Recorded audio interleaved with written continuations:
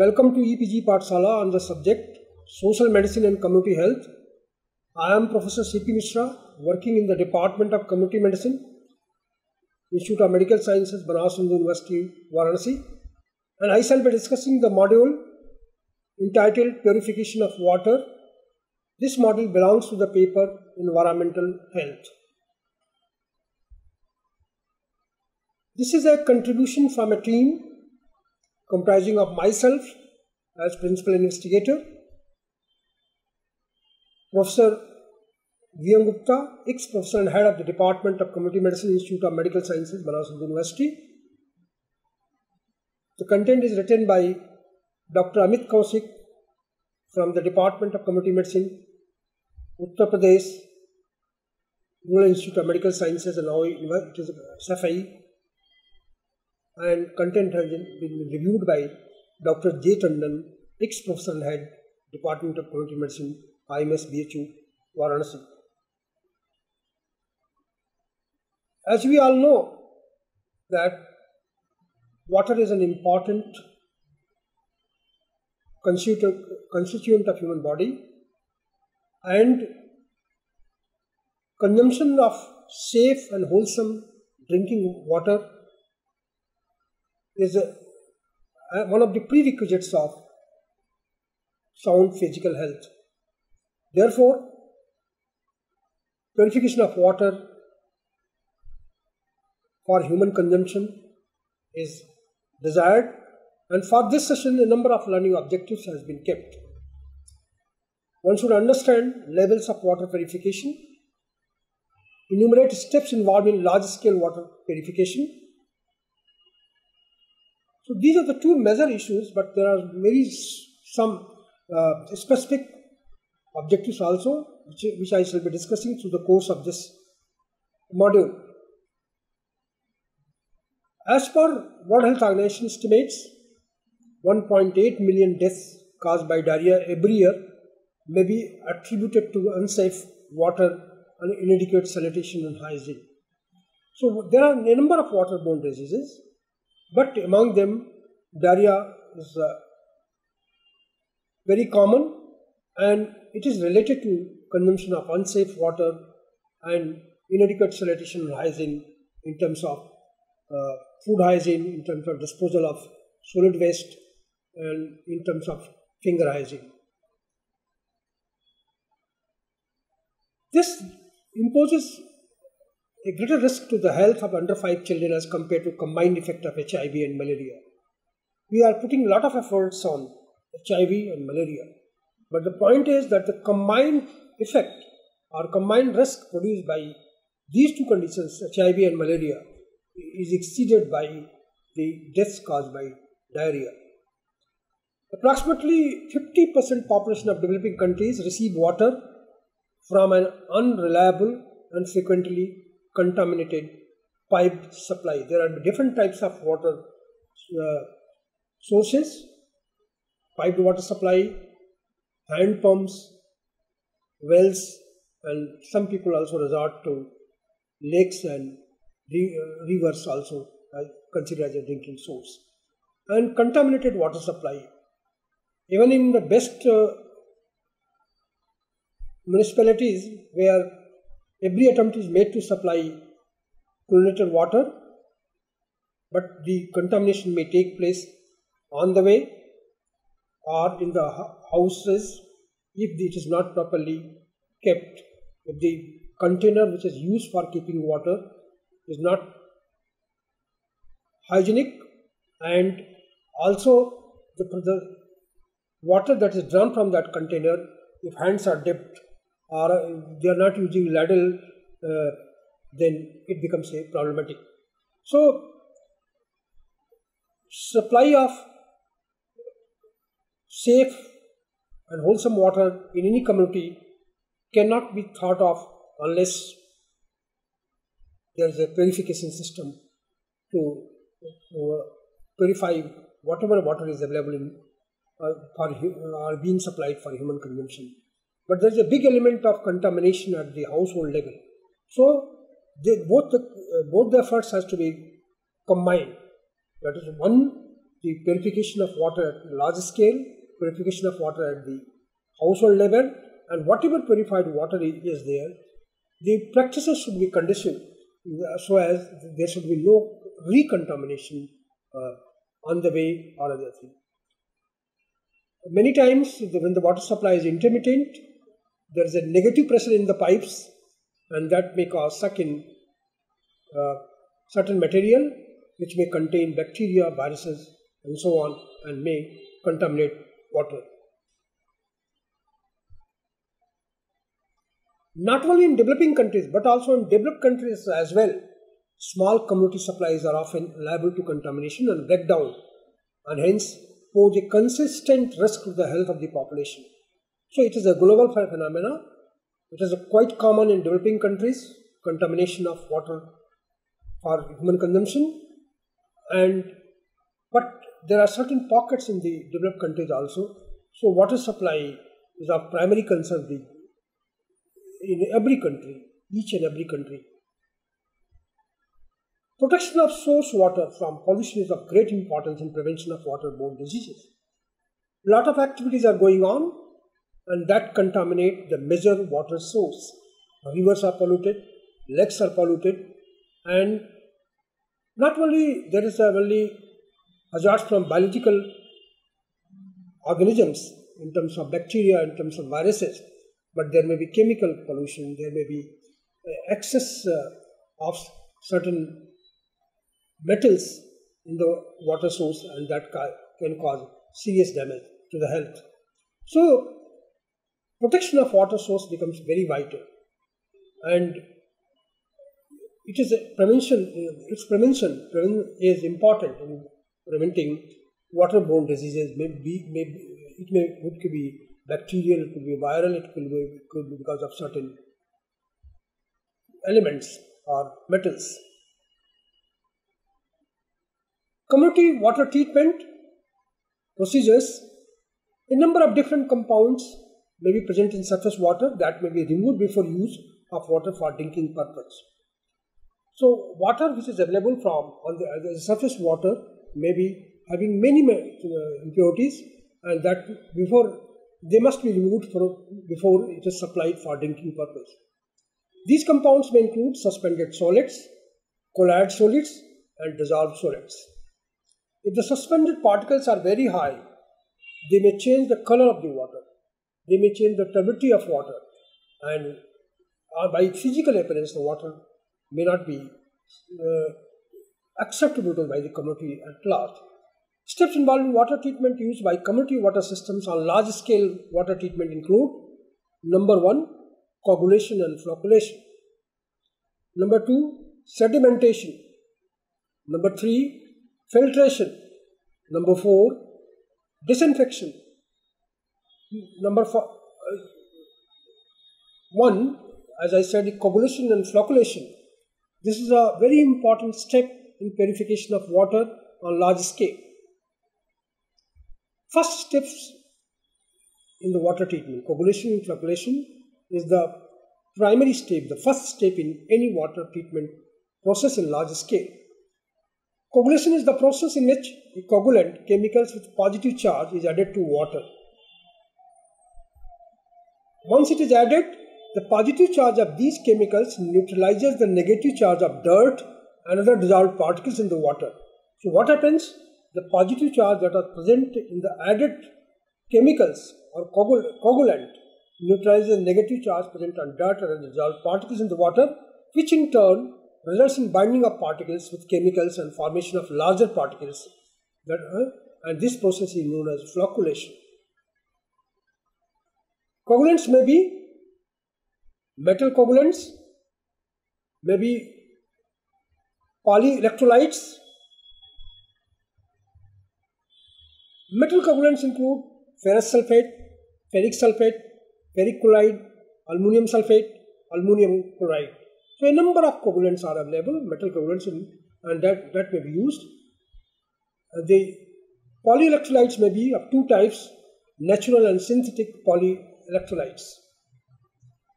Natu- natural are those of the biological origin. Examples include alginate,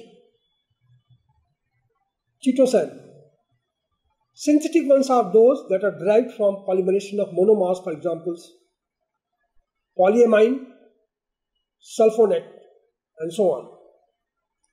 Flocculation is the process by which destabilized particles conglomerate into larger aggregates that can be separated from the water. So flocculation process, what it does, that it brings particles together and they conglomerate into larger aggregates and which can be separated.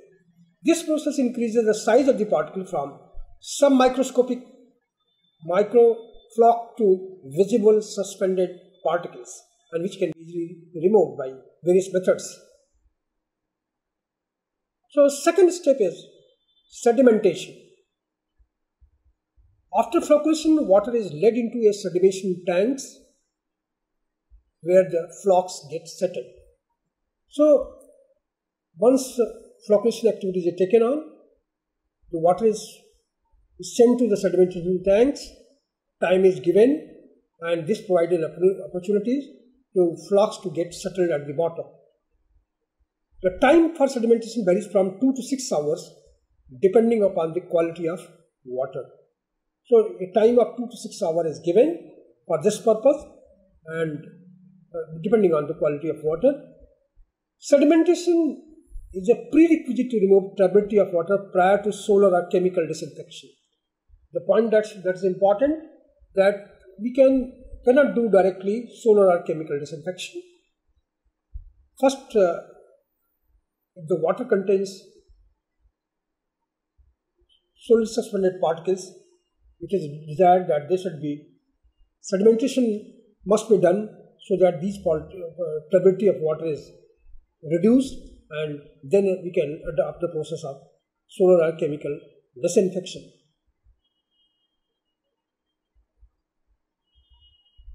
Advantages of sedimentation. Sedimentation has several advantages.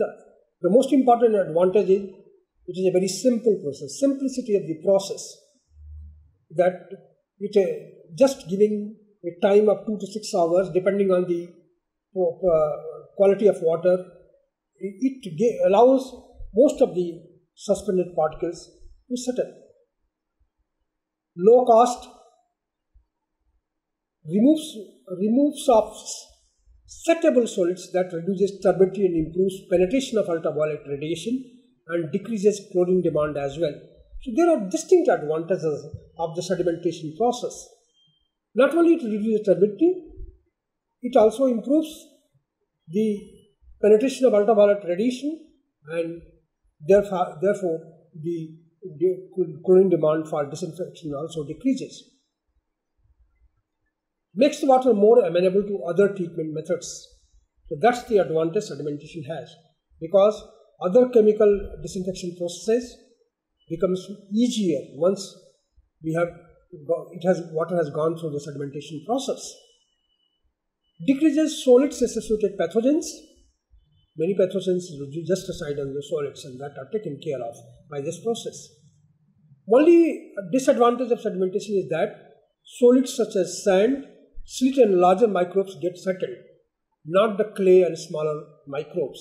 So that the greatest disadvantage that smaller microbes may not settle and clay matter may be also there. The third step is filtration of water. Filtration is a physical and chemical process and in case of slow sand filters, biological as well because slow sand filters in the top there's a vital layer made of uh, fauna and flora, particularly fungi, and that vital layer helps in, uh, in disinfection of water.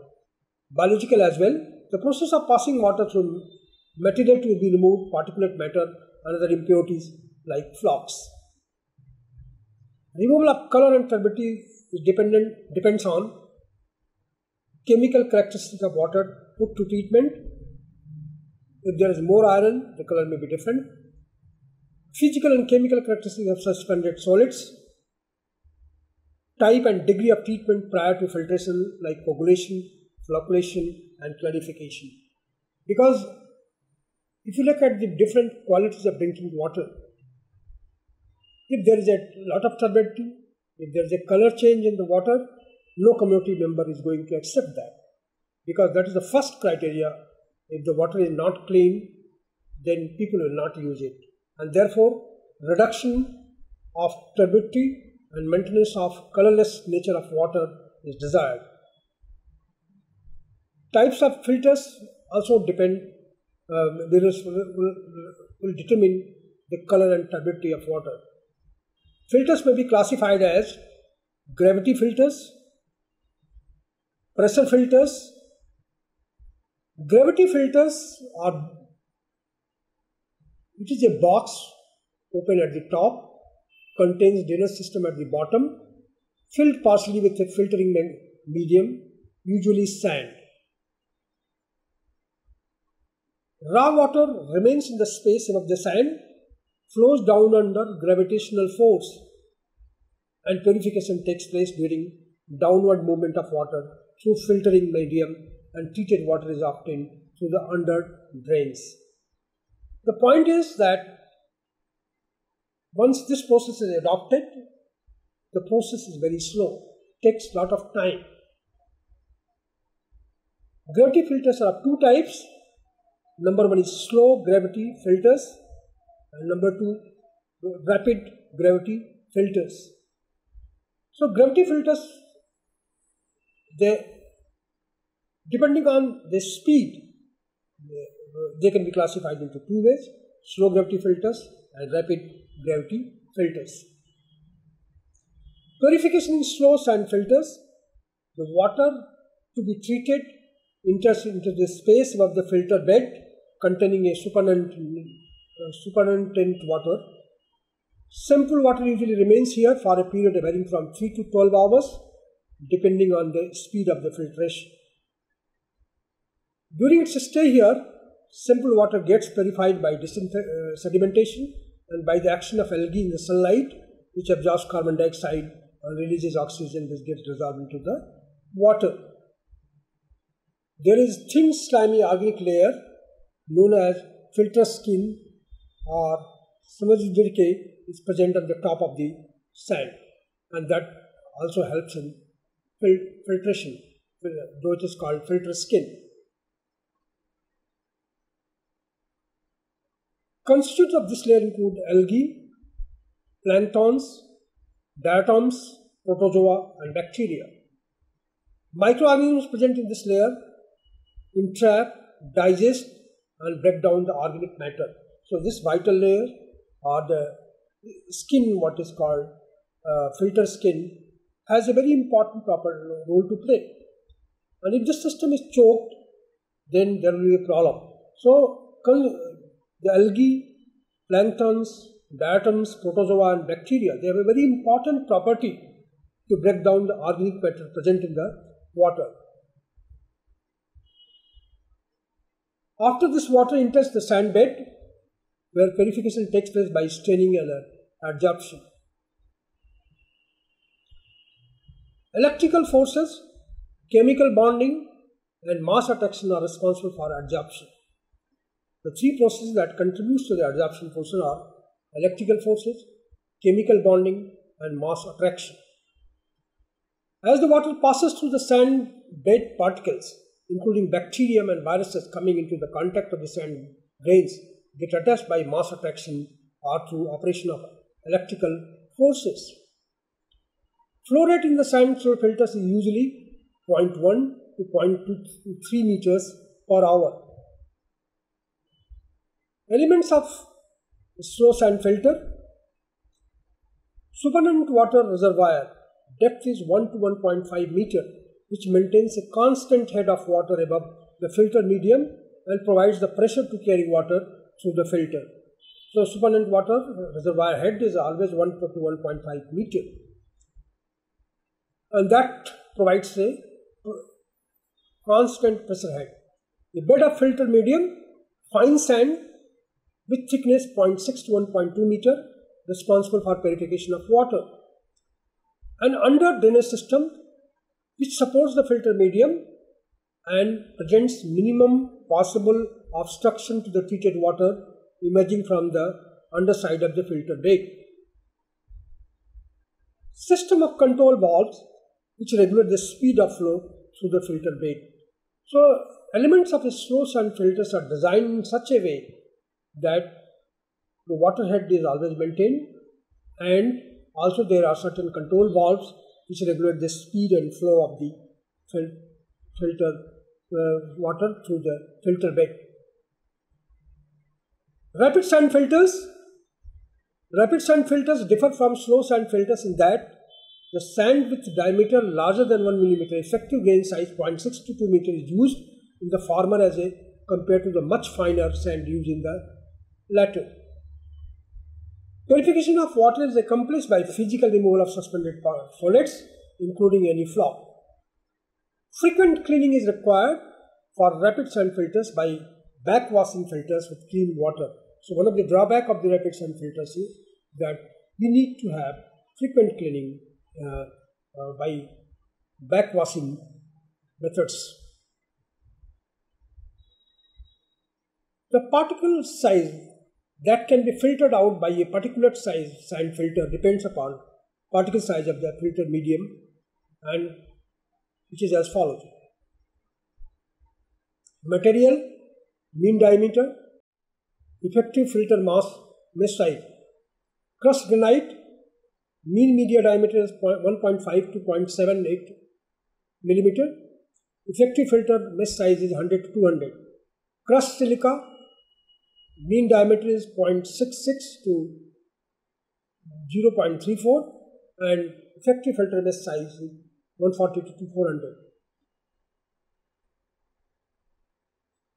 Now, once we have discussed one type of filter, the other type of filter is pressure filters. Pressure filters are similar to gravity sand filter except that the filter containing bed of the sand or of the another granular material is completely enclosed in a closed vessel through which water is forced under pressure. So everything is same as we have discussed earlier. Only thing is that the water is contained in a closed vessel through which water is forced under pressure.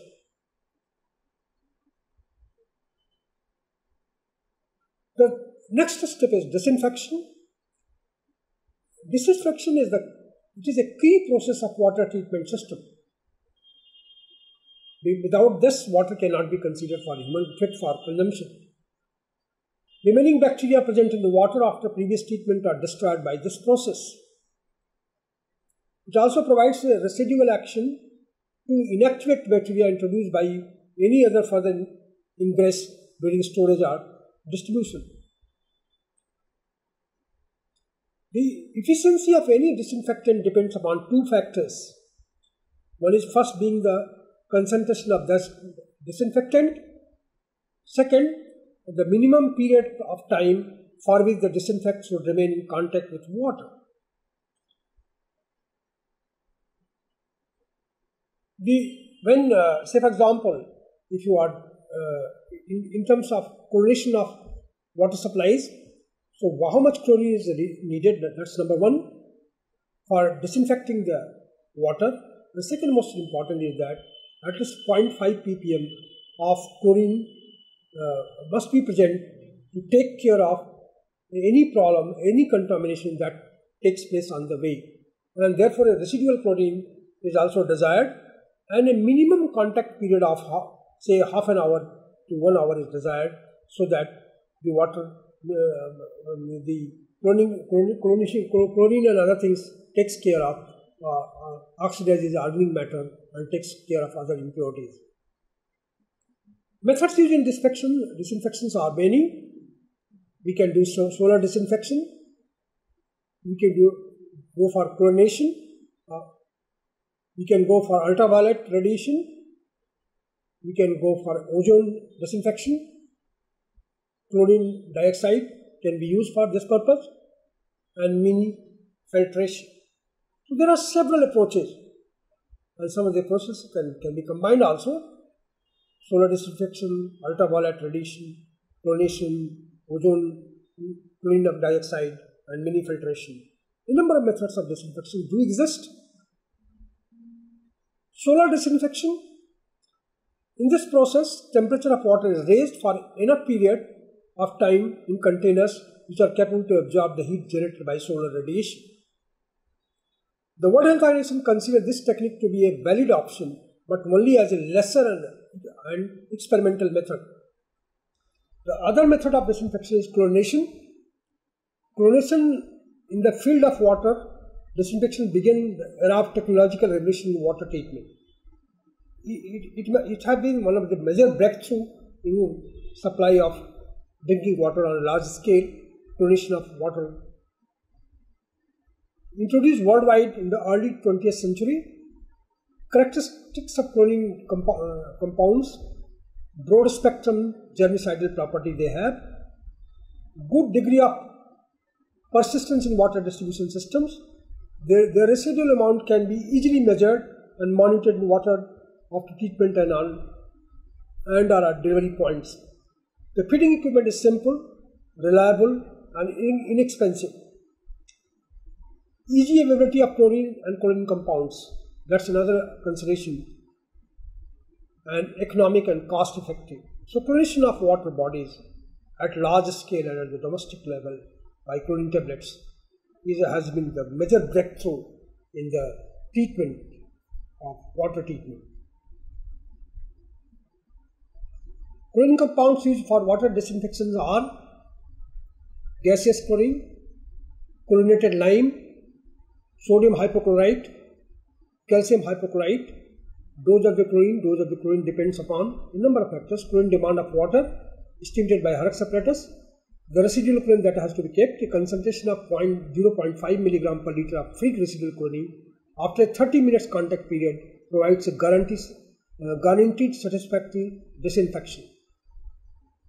Chlorine disinf- disinfection mechanisms. Chlorine in any of its forms get hydrolyzed in water and forms hypochlorous acid HOCl in the following way. Chlorine gas Cl2 plus H2O that's what water is equal to hydrogen plus plus chloride plus HOCl hypochlorous acid. Sodium hypochlorite if it is used NaCl plus H2O, Na plus plus OH minus and HOCl. So acid is generated. Calcium hypochlorite CaOCl twice plus 2H2O equal to calcium Ca, uh, that is Ca plus plus plus 2OH minus plus 2HOCl that is hypochlorous acid. Hypochlorous acid splits into hydrogenous ion H plus and hypochlorite OCl. HOCl is equivalent to H plus plus OCl minus. Disinfecting uh, action of chlorine is mainly due to hypochlorous acid, but to lesser extent due to hypochlorite ion also. Ultraviolet radiation, short wave ultraviolet radiation acts on the gen- genetic material of the microorganisms and the viruses and destroys without producing any major physical or chemical changes in water. The germicidal action is exerted between range of 240 to 280 nanometers with maximum disinfecting capacity close to 260 nanometer and it's mainly due, mainly due to ultraviolet C rays 100 to 280 uh, nanometer. Suspended or dissolved solids, turbidity and color absorb ultraviolet energy and interfere with disinfection. Water turbidity should be as low as possible if you are using this type of disinfection. Depth of water should not be more than 75 millimeter to ensure that ultraviolet reach reaches every part. Normal exposure time is from 10 to 20 seconds. Ozone is another disinfecting agent and its action depends upon its oxidizing effect on cells which makes its effective destroyer of bacteria. It is also effective against viruses, spores and resistant bacteria and molds cysts. So that's the advantage with ozone we have. The action of ozone does not depend on so much on contact period as on the doses administered, as on the dosage administered. Chlorine dioxide. Chlorine dioxide has biocidal efficacy over a wide range of pH ranging from 3 to 10. The action is mainly due to its ability to permeate the bacterial cell membranes and destroy them. In case of viruses, it absorbs and penetrates protein coat and the virus capsid and reacts with the viral RNA and damages the genetic capacity of the virus. Chlorine or dioxide has lesser microbicidal action as compared to ozone, but is stronger disinfectant than chlorine. Membrane filtration Disinfection by membrane filtration is based upon the physical principle of filtration, unlike chlorine, chlorine dioxide, or ozone disinfection, which acts on the principles of chemical oxidation. Membrane filtration includes microfiltration, ultrafiltration, nanofiltration, and reverse osmosis.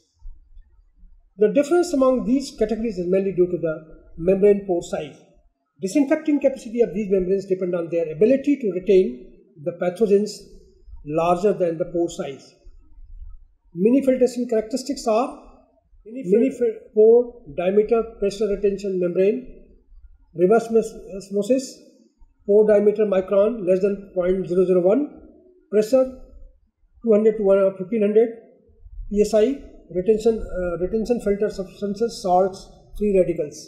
nano filtration pore diameter microns 0.001 to 0.01, pressure 70 to 250 psi sugars mo molecules uh, are taken care of. Ultrafiltration 0.01 to 0.1 pore diameter 15 to 200 psi colloids viruses and microfiltration 0.1 to 0.2 pressure is 10 to 15 bacteria and cysts are taken care of. After discussing the large water uh, treatment at the community level Household water treatment procedures are boiling, staining through the fine cloth, charcoal filter, ceramic filters, chlorination and storage. These are important. Boiling, boiling the water is one of the effective ways to kill the microorganisms present in it. WHO recommends that for boiling to be an effective mean of disinfection, water should be brought to a vigorous boil, which enables killing of inactivation of most organisms that cause bacteria, diarrhea. The problem with boiling is that uh, many times the water uh, test changes and that may be not acceptable in the communities. Staining through fine cloth, water is poured through a piece of fine clean cloth to remove some of the suspended solids. Charcoal filters, filtration through granular charcoal is an effective mean to improve the taste, odor and color of water. Ceramic filters The filter is porous, unglazed ceramic cylinder in which the impurities get deposited on the surface of filter. Efficiency of ceramic filters depend upon the pore size. Filters with very small pores can remove most pathogens. The ceramic filter method can only be used with fairly clean water. Chlorination, chlorination of water at household level can be done by an emergency measure as well as a part of everyday life.